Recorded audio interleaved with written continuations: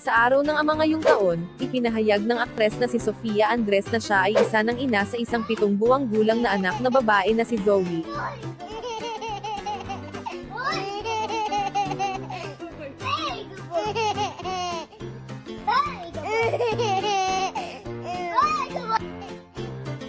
whom she shares with Daniel Miranda, isang international race car driver. Ito ang dahilan kung bakit hindi na siya nakikita ng mga tao sa spotlight for some time. Si Sofia, edad 21, ay nanganak kay Zoe noong ika-24 ng Nobyembre taong 2011. Naalala niya na hindi siya natakot nang nalaman ni Sofia na siya ay buntis noong Pebrero taong 2011, ang araw ng mga puso ay eksaktong eksakto. Pumunta ako sa Sydney, Australia. Nanatili ako doon ng anim na buwan.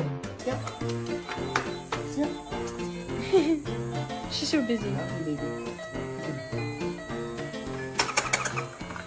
Vroom vroom, here, this one, vroom vroom. Vroom. You wanna be... Nagpahinga ako mula sa showbiz, sabi ng bagong ina. Limang buwan na siyang buntis noon. Sofia and Daniel have been together for four years now.